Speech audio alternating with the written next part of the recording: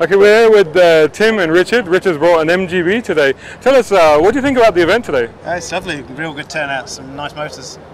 Uh, uh, have you been to anything similar to this before here? No, it's the first time I've been to uh, any event like this in Dubai. It's uh, really nice to see some of the old cars and some of the new stuff out and about.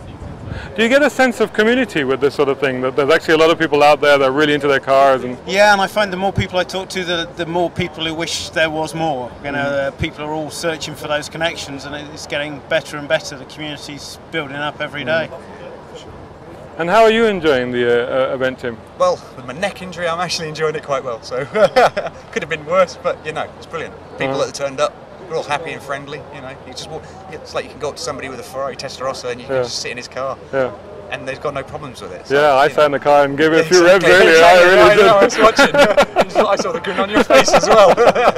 it's fantastic, But, no, isn't it? you know, most people, if you think about events like this, some people are very anal, especially in Yeah. other countries like Yeah. Europe. They're like, no, you can't, touch Yeah. my car, don't sit in my car. But here, everybody's just like friendly and they're like, yeah, no problems, get on it. It's like, you know, it's cool. Thanks very much, guys. Hope to see you again at the next one. Yeah, no worries, look forward to it. definitely. Cheers.